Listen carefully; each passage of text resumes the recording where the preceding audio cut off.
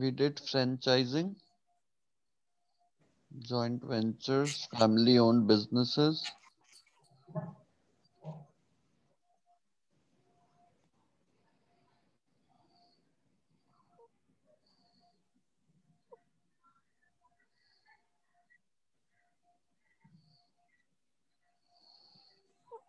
Should we start from 1.3 or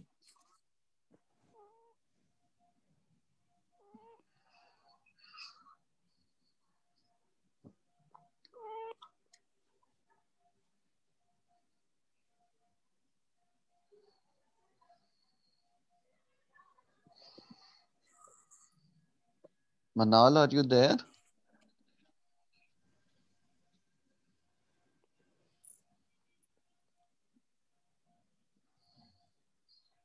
Manal, are you there?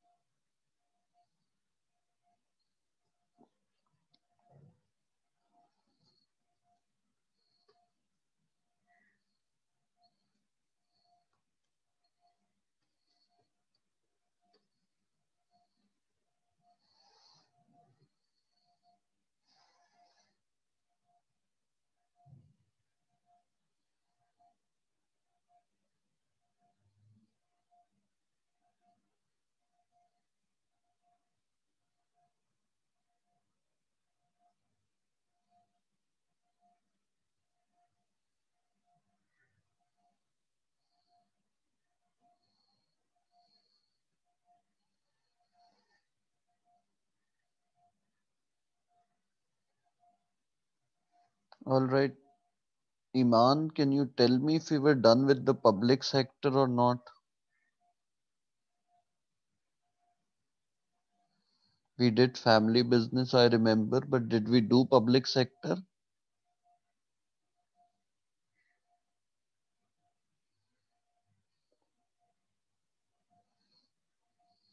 Iman, are you there?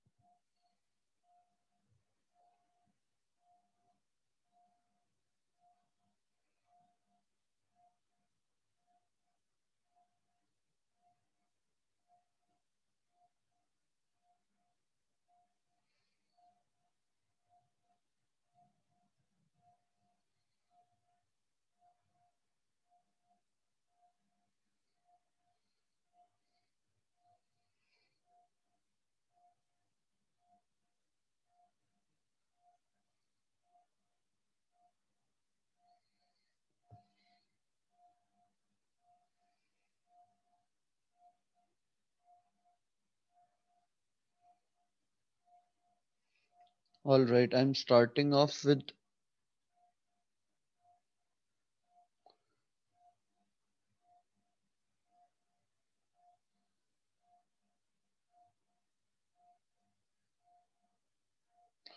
so this was the chapter business structure and we've uh, we were already done with the limited companies joint ventures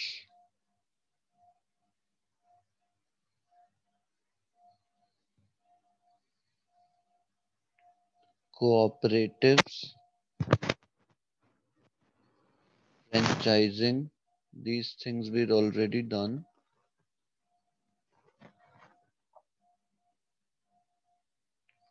family owned businesses. So let's now move to the public sector and then we'll go about it like this only. So what is a public sector? Public sector are businesses that are owned and controlled by the government. All right. So uh, every business that is under the control of the government, that is a public sector. Usually the role of a public sector is different than a primary sector. In a public sector what we actually want is that we want to provide goods to everyone. Like the people who cannot afford certain goods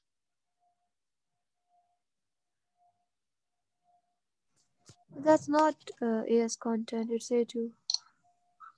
Manal, I think you're a bit confused in this. Business structure is A2s. Yeah, the one the sir is teaching is A2. Yeah, I've just gone through the book as well. So if you're done with this, that is a different thing. But I uh, I went through the entire syllabus yesterday. But business structure, dekho, if you could see the heading as well, this is business structure and business structure is part of A2s.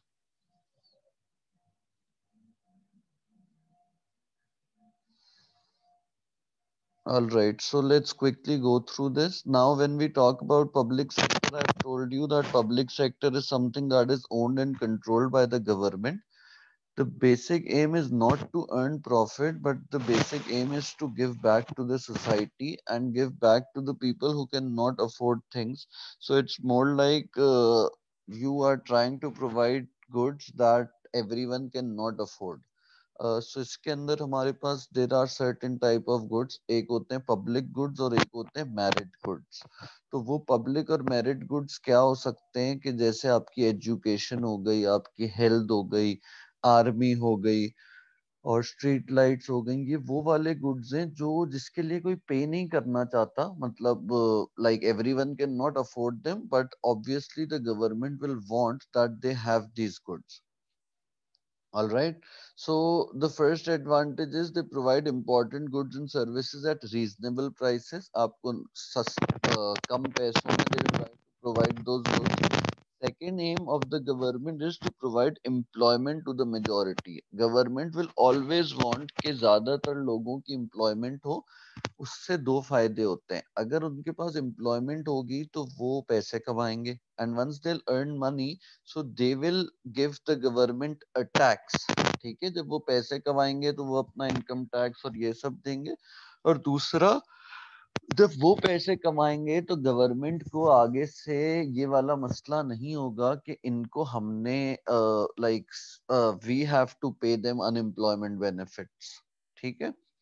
दूसरा ये कि implement government policies example charge low prices to reduce inflation अब government जो है, क्योंकि they have control over these businesses तो वो उसकी प्राइसेस इतनी कम रखेंगे कि आपकी इन्फ्लेशन ना हो। So these are the macro economic objectives कि इन्फ्लेशन कम हो अनएम्प्लॉयमेंट कम हो इस तरह की बातें।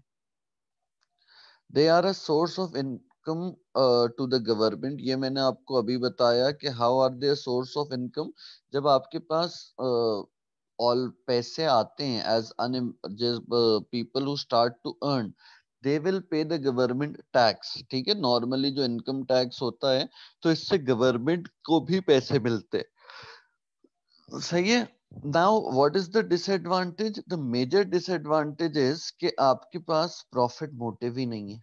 अब आपको, क्योंकि प्रॉफिट मोटिव नहीं है, अब आप कोई भी गवर्नमेंट इदारा देखोगे when we talk about government schools they are not as efficient as the private schools and the reason being के जब आपका प्रॉफिट मोटिव नहीं होता तो आप इतने एफिशिएंटली काम नहीं करते। आपको पता है भाई, पैसे तो आ जाने हैं, किसी ने इतना पूछना वूछना है नहीं, और हम सस्ते में ही दे रहे हैं so no one will question us that is why there is a problem Second is they tend to provide poor quality goods and services due to the absence of stiff competition. अब competition ही नहीं है government के पास तो बहुत ही limited competition होता है। So when there is limited competition what happens is that government do not work upon improving the production or the efficiency of the goods and services इसकी वजह से आपके गुड्स जो हैं वो पुअर क्वालिटी के रहते हैं। Third is lack of motivation among workers leads to inefficiency अब वर्कर्स को पता है कि हमने कोई आ, हमारी कोई बोनसेस नहीं लगने कोई एक्स्ट्रा पैसे हमें नहीं मिलने।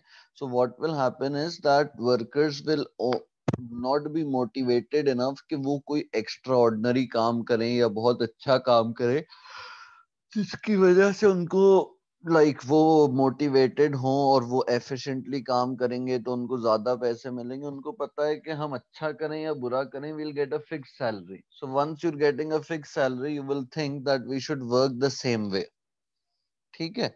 Last is this suffer from excessive political interference अब ये एक बड़ा मेजर चीज़ है कि आपका पॉलिटिकल इंटरफेरेंस बहुत रहती है। मतलब पॉलिटिकल इंटरफेरेंस का मतलब ये है कि whoever will be in the control, like who, whichever party is in control right now, उसके लोग गवर्नमेंट के कामों में बैठ जाएँगे।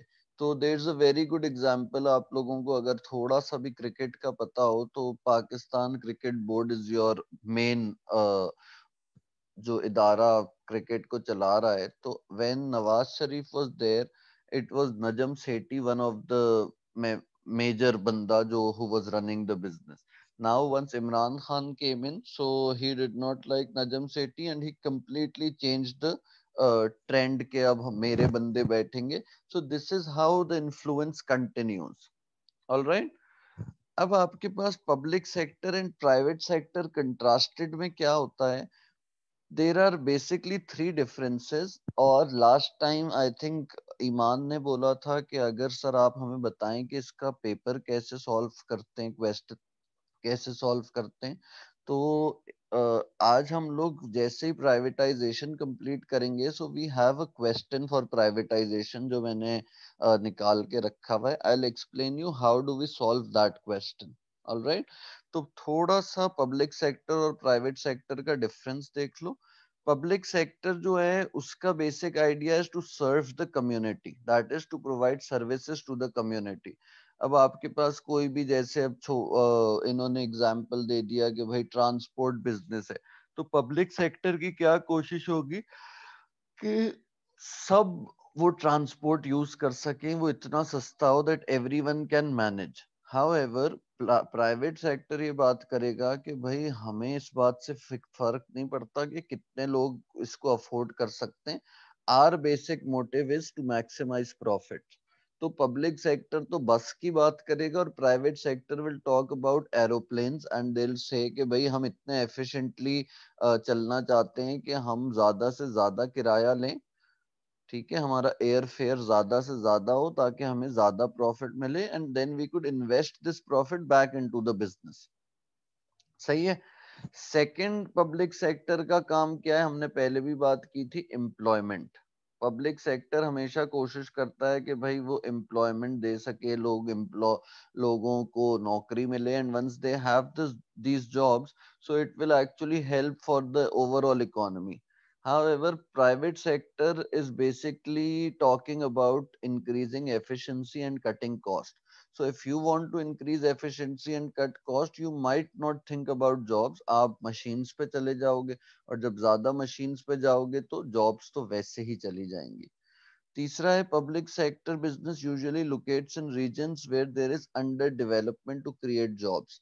अब पब्लिक सेक्टर जो है वो कहाँ पे कोशिश करता है वो विलेजेस में जाएगा वो ऐसे जोन्स में जाएगा जहाँ पे लोगों के पास जॉब्स नहीं है ताकि उनको कुछ ना कुछ जॉब मिल जाए और उनकी इनकम जनरेट होने लगे। However, private sector will only consider places जहाँ पे उनको ज़्यादा से ज़्यादा एडवांटेज है। ठीक है? Is this clear yes sir okay perfect अब ये प्राइवेटाइजेशन को दोनों बड़ा गौर से सुनना because we'll do a small question on this will do a small question on this कि प्राइवेटाइजेशन के ऊपर जो आएगा ना पेपर थ्री मनाल ने मुझे एक वो भेजा था रिसोर्स बुक उसके अंदर I found the first question on privatization and there is another question on the size of business जो हम आज एक और करेंगे. तो इनशाला will understand how to do these questions as well अच्छा प्राइवेटाइजेशन को whenever you are answering a question you define define का मतलब है कि उसको उसकी डेफिनेशन बताते हो। तो इन्होंने बताया हुआ है कि privatization involve selling state owned assets to the private sector that means आप अगर ये बोलते हैं ना कि हम प्राइवेटाइज कर रहे हैं तो इसका मतलब है that we are selling the businesses controlled by the public sector to the private sector या by the government the businesses that are owned by the government are sold to the private sector. अब इसके advantages क्या है privatisation के? सबसे पहला advantage government को होता है फाइनेंशियली वो ये होता है that once you sell off these assets once you sell off your companies once you sell off a mill और एनीथिंग तो ये आपके लिए जनरेट करेगा फाइनेंशियल रिसोर्स किसके लिए? गवर्नमेंट के लिए। ठीक है? फाइनेंशियल रिसोर्स का मतलब है अगर मैं कोई कंपनी या कुछ बेचता हूँ, अगर आज मैं उठ के बोलता हूँ कि स्टील मिल को प्राइवेटाइज कर दो तो स्टील मिल अरबों में बिकेगा। तो government will actually earn those hundreds of millions rupees ठीक है? तो गवर्नमेंट के पास फिर पैसे होंगे कि वो किसी और चीज़ में इन्वेस्ट कर ले, वो छोटे छोटे काफ़ी बिजनेसेस में इन्वेस्ट कर ले। तो ये तो हो गया आपका फाइनेंशियल रिसोर्स दूसरा होता है ऑप्टिमम यूटिलाइजेशन ऑफ़ रिसोर्सेज तो ये क्या होता है? It has been observed that the public sector has failed in the optimal use of natural national resources the private sector में success in the optimum use of resources by maintaining efficiency अब हमने ये बात की कि अगर हर काम आप गवर्नमेंट के हाथ में छोड़ दोगे तो आपकी एफिशिएंसी कम होगी। क्योंकि उनका एम ही नहीं है टू बी एफिशिएंट उनका एम है कि भाई सबको गुड्स मिल जाएँ। और अब आपको पता है in Pakistan that we not very government is not very good in terms of ये कि वो अपनी करप्शन को भी कंट्रोल कर रही है, वो इस बात का भी ख्याल कर रही है कि सबको सब चीज़ मिल रही है। इंस्टेड गवर्नमेंट में भी आपको प्रॉब्लम्स नज़र आते हैं। तो आपकी रिसोर्सेस का ऑप्टिमम यूटिलाइजेशन है ही नहीं क्योंकि आपका एम ही नहीं है। तो अब आप जब एफिशिएंसी की तरफ़ नहीं हो तो once you sell off these things to a private sector उनका काम तो डेफिनेटली ये होगा कि भाई हम यू रिसोर्सेस को इतना ऑप्टिमम ऑप्टिमम यूज़ करें उनका कि हमारी एफिशिएंसी मेंटेन रहे कॉस्ट कम रहे, हमें प्रॉफिट ज़्यादा बनता रहे। सही है? तीसरा होता है fostering competition so most of the public sectors enjoy the status of monopoly अब जो पब्लिक सेक्टर में जो भी ज़्यादातर कंपनीज़ हैं, उसमें मोनोपोली होती है। अब मोनोपोली अगर आपने नहीं पढ़ा तो मोनोपोली ये होता है कि उनके पास कंपटीशन नहीं होता। जैसे वो एक गुड प्रोवाइड करने वाली, वो एक ही कंपनी होगी, ठीक है? तो जैसे पहले के टाइम क्या होता था, जो हमारी ये रेलवे थी रेलवे से अगर मैंने कोई कार्गो भिजवाना है, मैंने अगर बोलना है कि यार मुझे अपना कोई लगेज कराची से इस्लामाबाद भेजना है तो there was only one company that was Pakistan railways अब मैं वहाँ जाता हूँ, वहाँ जाके देखता हूँ कि वो घंटों लगा रहे हैं, पहले बिल्टी नहीं बना के दे रहे, फिर पैक नहीं करके दे रहे, फिर उन्होंने कोई ओनरशिप नहीं ली, मेरा बैगेज ऐसे ही फेंक दिया है। तो अब आपको, क्योंकि मोनोपली है, उनको पता है कि लोग हमारे पास ही आएँगे तो उनको फ़र्क नहीं पड़ता।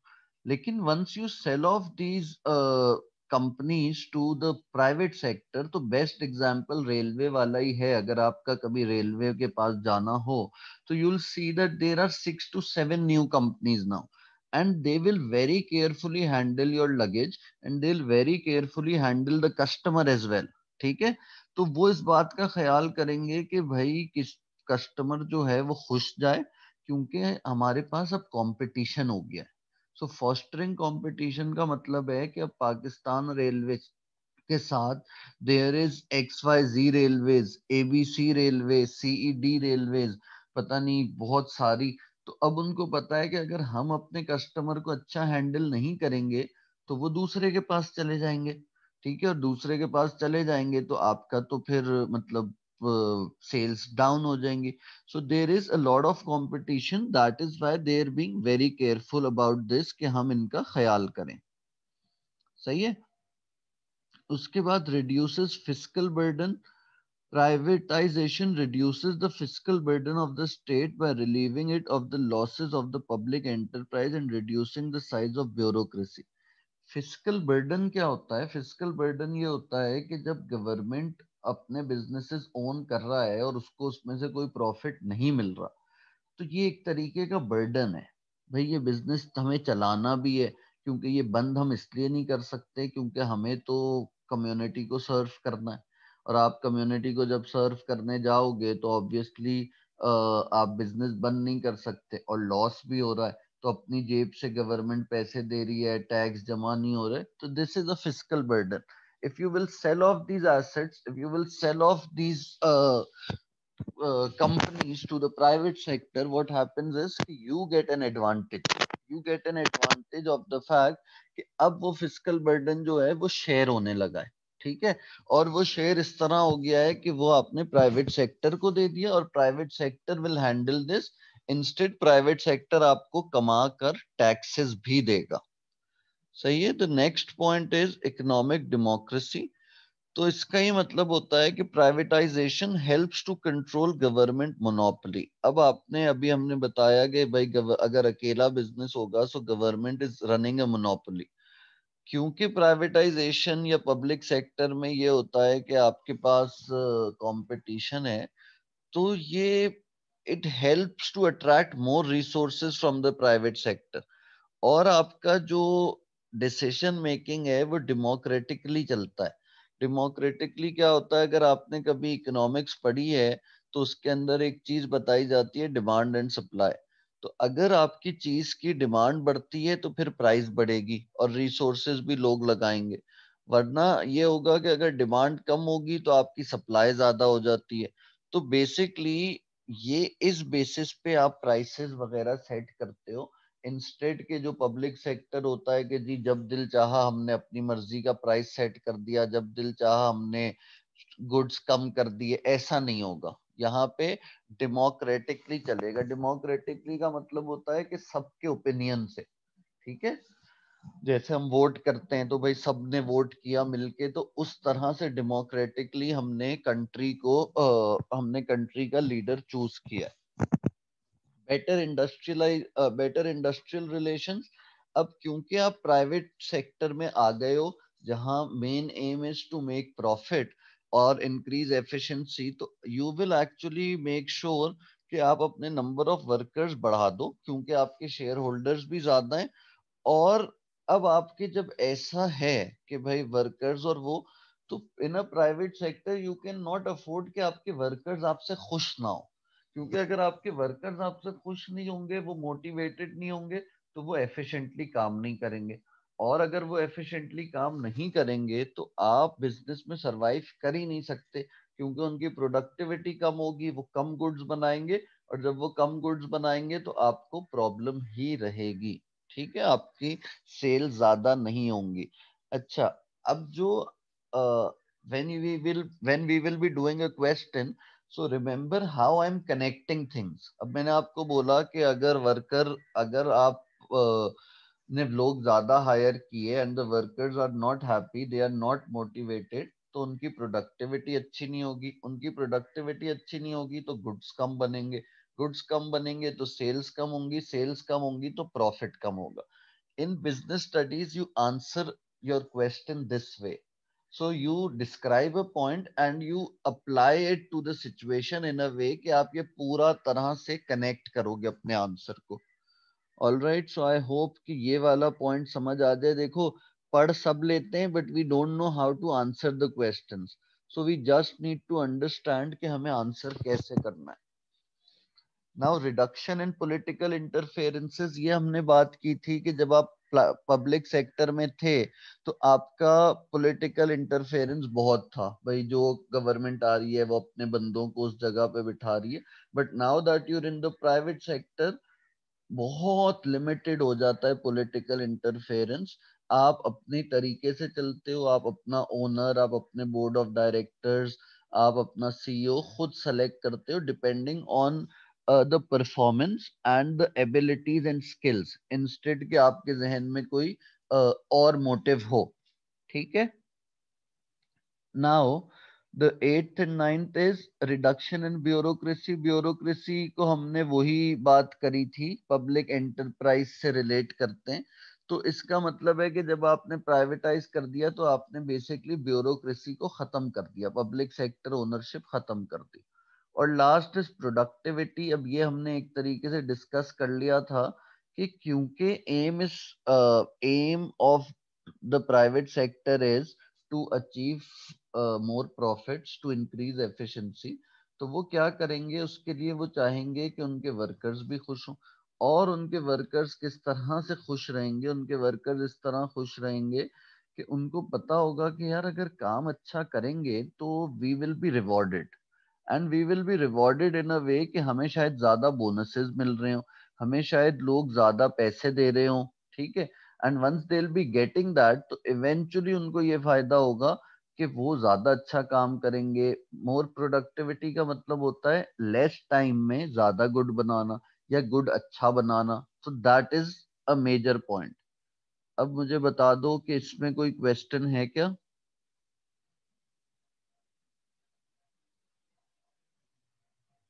प्राइवेटाइजेशन के एडवांटेजेस में एनी क्वेश्चन समझ आ गया clearly yes sir okay perfect ठीक है चलो अब डिसएडवांटेजेस ऑफ़ प्राइवेटाइजेशन देख लेते हैं। सबसे पहला डिसएडवांटेज होता है प्राइस सो गवर्नमेंट का एम क्या है? गवर्नमेंट सारे बिजनेसेस यूजुअली नहीं बेचता। गवर्नमेंट ओनली सेल्स वो वाले business which are less profitable ठीक है?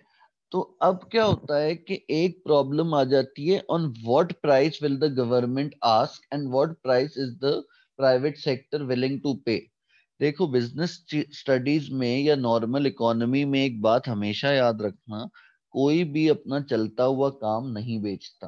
That is if they're earning a good amount they will not sell their businesses but why is the government selling the business because they feel के भाई हमारे पास ये profit नहीं कमा रहा। हमें इससे जान छुड़ानी है and we need to earn some money that is why they sell off these things ठीक है? तो सबसे पहले प्राइस पे डिसाइड करना मुश्किल होता है। दूसरा होता है opposition from employees opposition from employees का मतलब ये होता है कि disinvestment tends to arise political opposition from employees who may lose their jobs from politicians who fear short-term unemployment consequence of liquidation of cost reduction by private owners. अच्छा कई दफ़ा जो आपकी एम्प्लॉयज़ हैं, वो are not happy to sell the asset to private sector क्योंकि वो एक सर्टेन पार्टी से बिलोंग करते हैं और वो इस वक्त उस पार्टी के कंट्रोल में था and they were running the business their way मतलब उनको ये बताया कि अगर हम प्राइवेट सेक्टर में चले जाएँगे तो हमारे पास वो वाला आ, हमें वो वाली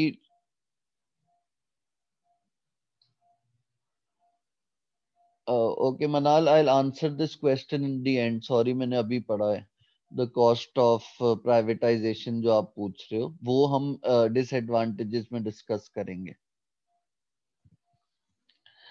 ओके सो uh, इसके अंदर जब हम बात करेंगे ऑपोजिशन फ्रॉम एम्प्लॉयज़ तो जो पब्लिक सेक्टर के एम्प्लॉयज़ है ना they are less efficient and they are aware कि अगर ये प्राइवेट सेक्टर के हाथ में चला गया तो होगा ये कि हमारी तो नौकरी चली जाएगी। सीधा सीधा बात है कि हम इतने एफिशिएंट हैं ही नहीं कि उनकी तरह चलें। तो अभी तो हम इसलिए रुके हुए हैं because we part of a party and they are helping us to stay तो इसलिए वो अपोज करते हैं, इसलिए वो अगेंस्ट जाते हैं। अब तीसरा आ जाता है प्रॉब्लम्स ऑफ़ फाइनेंस अब काइंड kind ऑफ़ of जो मनाल ने पॉइंट रेस किया है, वो यहाँ पे आ गया। In the developing countries under the developed capital market sometimes makes it difficult for the government to float shares and for individual buyers to make finance the larger purchase अच्छा अभी भी वो पॉइंट नहीं आया है। अभी खाली ये आया है कि भाई इसको सेल करना एक मुश्किल काम है। On the on the stock exchange market ठीक है? उसके अंदर ये वाली बात बोल रहे हैं कि जो एक डेवलप्ड कैपिटल मार्केट होती है, उसके अंदर गवर्नमेंट को अपने शेयर्स फ्लोट करना मतलब शेयर्स बेचना becomes difficult so that is a problem now the other two to three points are improper working अब प्राइवेट सेक्टर का मसला ये होता है कि the main disadvantage of the private sector is that it has fallen much short of what this sector is capable of or would, what it has achieved in some other countries.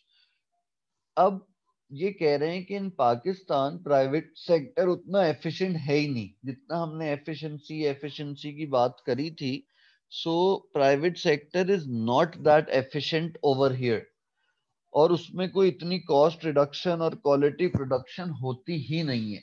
तो यहाँ पे इसलिए ये मसला है। अच्छा independence on government now the major problem with selling your shares to the private owners is कि आप गवर्नमेंट के इन्फ्लुएंस से चले जाते हो। तो अगर आप गवर्नमेंट के इन्फ्लुएंस से चले जाते हो तो ये होता है कि ये वाला मसला हो सकता है। अच्छा इसमें उन्होंने एक पॉइंट लिखा हुआ है there are two point the first one is that if you become independent and you leave the government regulation and all तो बहुत मेजर मसला ये होता है that you might end up selling harmful goods you might take you might shut off the business you might think about employing less labour जो कि सारे government के अगेंस्ट बातें। लेकिन गवर्नमेंट क्यों नहीं इंटरवीन कर सकता? क्योंकि वो बिज़नेस बेच चुका है। और दूसरे एंड पे क्या है कि there has been an excessive regulation and control of the private sector by the government this has prevented and competition from becoming a generalise phenomenon of the economy और ये कहते हैं कि दूसरा पॉइंट ये हो सकता है कि अगर आप कंप्लीटली इंडिपेंडेंट नहीं होते और गवर्नमेंट का इन्फ्लुएंस रहता है like government rules and regulations लगा रहा है तो लोग खुशी खुशी बिज़नेस नहीं करते और खुशी खुशी बिज़नेस नहीं करेंगे तो कंपटीशन नहीं आएगा। कंपटीशन नहीं आएगा तो एफिशिएंसी नहीं बढ़ेगी। एफिशिएंसी नहीं बढ़ेगी तो कॉस्ट नहीं रिड्यूस होगी और ओवरऑल कंज्यूमर्स को अच्छा प्रोडक्ट नहीं मिलेगा। देखो वेन एवर यूर आंसरिंग इस तरह से अपने पॉइंट्स को मिलाना है। ठीक है? अच्छा हाई कॉस्ट इकोनॉमी का मतलब है, another problem with the private sector is that its cost. In general are large and the price of products are unduly high. अब आप बड़ा सिंपल एग्ज़ाम्पल स्कूल्स का ले लो। अगर गवर्नमेंट स्कूल्स की fees I am not sure लेकिन two thousand से लेके फाइव थाउज़ेंड पर मंथ पे जा सकती है। प्राइवेट सेक्टर की इस वक्त फ़ीस तकरीबन fifteen to twenty thousand per month है। सो दैट मीन्स कि आपके ओवरऑल uh, कितना बड़ा डिफरेंस है? मतलब how much difference is there right now there is a difference और इस वजह से everyone can not afford the private sector products ठीक है? Concentration of economic power, the private sector emerges monopoly and the concentration of economic power in the hands of few. अच्छा अब ये बात करते हैं कि जब प्राइवेट सेक्टर को भी दे दो तो ये नहीं होता कि प्राइवेट सेक्टर ने बहुत कंपटीशन हो रहा है and everyone has power no there are some large players who have power and they can influence others as well अब क्या होता है, जैसे कि हमारे पास के इलेक्ट्रिक है। They are private sector owned business but what they do is उनके पास कंप्लीट मोनोपली है। आपकी लाइट बंद करे रखेंगे, महीना भी बंद कर देंगे, कोई क्वेश्चन नहीं कर सकता। ठीक है, बिल आ रहे हैं, मीटर ज़्यादा हो गया, बिल ज़्यादा हो गया एक्स वाई जी उनकी जो मर्ज़ी है वो एफिशिएंटली नहीं चलेंगे, लेकिन आप कुछ नहीं कर सकते बिकॉज़ उनके पास इकोनॉमिक पावर बहुत ज़्यादा है in comparison to others yes, for example pia as well. Pia का आप देखोगे, Manal there still is a bit of competition Airblue भी है, अब नया एयर सियाल भी है सरीन भी है. So they have to be like there is still a little bit of competition but when it comes to के इलेक्ट्रिक के इलेक्ट्रिक के पास बिल्कुल ही कंपटीशन नहीं है ना।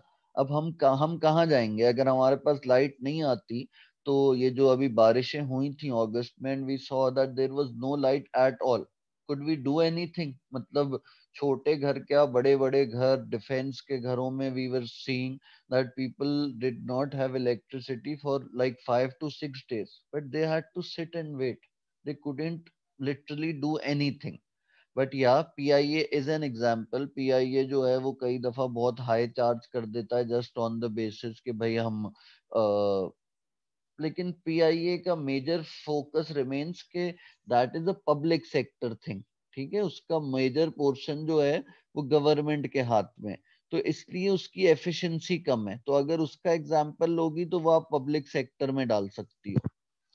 Okay bad industrial relations private sector में जो है वो डिफरेंट टाइप की डिस्प्यूट्स आ जाती हैं।